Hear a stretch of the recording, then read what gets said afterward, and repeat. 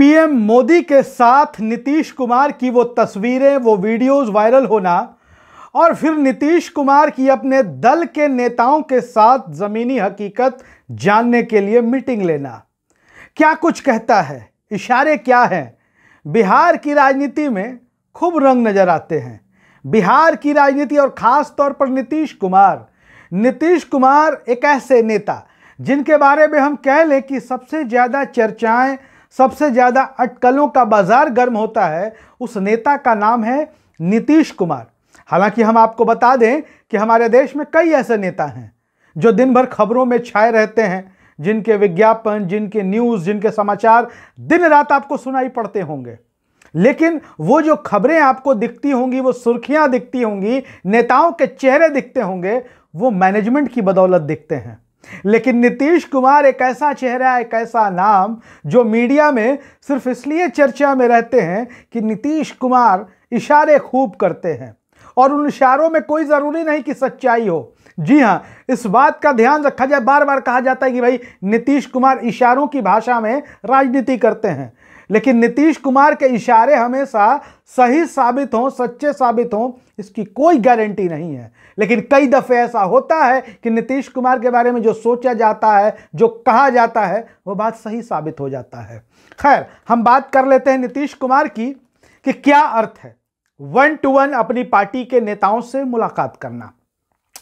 दरअसल नीतीश कुमार की राजनीति को आप देखेंगे, समझेंगे तो नीतीश कुमार बिहार की राजनीति के बड़े दिग्गज खिलाड़ी हैं, घाघ खिलाड़ी हैं, माहिर खिलाड़ी हैं। नीतीश कुमार कब क्या करेंगे, ये सिर्फ़ उनको पता होता है।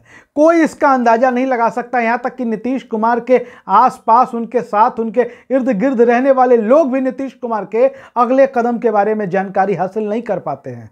लेकिन नीतीश कुमार को जो करना होता है, वो कर देते हैं। अब Nitish Kumar one to one meeting कर रहे हैं। नीतीश कुमार अपने दल के नेताओं से, कार्यकर्ताओं से बात करेंगे वन टू वन मिलेंगे फीडबैक लेंगे ग्राउंड रियलिटी की जानकारी लेंगे कि भाई, ज़मीन पर स्थिति क्या है? लोग हमारे, सरकार के बारे में, हमारे कामों के बारे में क्या सोचते हैं?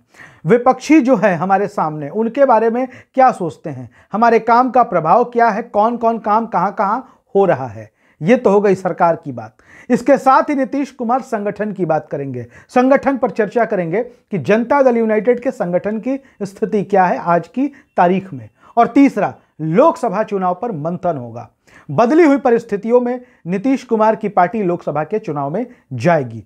2014 में जब लोकसभा के चुनाव हुए तो जनता दल यूनाइटेड अकेले चुनाव लड़ी थी। कुछ छोटे सहयोगियों का अगर नाम ले ले तो। लेकिन 2019 के 2019 के लोकसभा चुनाव में वो भारतीय जनता पार्टी के साथ गए। 17 सीटें मिली उनको लड़ने के लिए।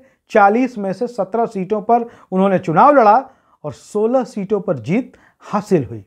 लेकिन अब परिस्थितियाँ बदली हुई हैं। अब नीतीश कुमार और उनकी पार्टी जनता दल यूनाइटेड, कांग्रेस और आरजेडी लेफ़्ट पार्टियों के महागठबंधन के साथ है, जिसे इंडिया गठबंधन राष्ट्रीय स्तर पर नाम दिया गया है। अब ऐसे में यह सवाल खड़ा होता है कि नीतीश कुमार की पार्टी के जो सांसद पद के उम्मीदवार हैं, लोकसभा के सांसद हैं और उम्मीदवार भी होंगे जो। बदली हुई परिस्थितियों में बदले हुए वोटर, बदला समीकरण, वो कैसे इन लोगों के बीच अपनी पैठ बढ़ा पाएँगे? या जनता दल यूनाइटेड को किन सीटों पर लड़ना चाहिए? उम्मीदवार कौन होंगे? जो अभी लोकसभा के सांसद हैं, उनकी स्थिति क्या है? इन तमाम मुद्दों पर नीतीश कुमार अपनी पार्टी के नेताओं से वन टू वन मीटिंग करेंगे। और 11 से 12 सितंबर के बीच ये बैठक होनी है और ये बैठक इसलिए भी अहम हो जाती है क्योंकि नीतीश कुमार की तस्वीर प्रधानमंत्री नरेंद्र मोदी के साथ वायरल हुई है। अब इसके बहुत सारे मतलब निकाले जा रहे हैं। हम पहले आपको बता दें कि ये जी ट्वेंटी को लेकर भोज था। देश की महामहिम राष्ट्रपति महोदया आदरणीय द्रौपदी मुर्मू जी ने जी ट्वेंटी को लेकर तमाम जो मेहमान आए थे, उनके सम्मान में स्वागत भोज, यानी डिनर का आयोजन आयोजन किया था। इसमें देश के तमाम राज्यों के मुख्यमंत्रियों को बुलावा भेजा गया था। लिहाजा नीतीश कुमार भी इस डिनर में जाते हैं और वो तस्वीर वायरल हो जाती है, जिसमें नीतीश कुमार, प्रधानमंत्री नरेंद्र मोदी और झारखंड के मुख्यमंत्री हेमंत सोरेन के साथ नज़र आते हैं।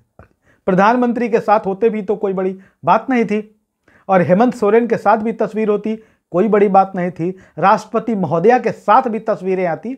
कोई बड़ी बात नहीं थी। राष्ट्रपति महोदय हमारे देश की राष्ट्रपति हैं, वो किसी दल की तो है नहीं। ऐसे में वो किसी राज्य के मुख्यमंत्री के साथ तस्वीर लेस खिंचा सकती हैं, या कोई नेता उनके साथ तस्वीर खिंचा सकता है। झारखंड के मुख्यमंत्री भी इस देश के मुख्यमंत्री हैं, नीतीश कुमार के सहयोगी भी हैं।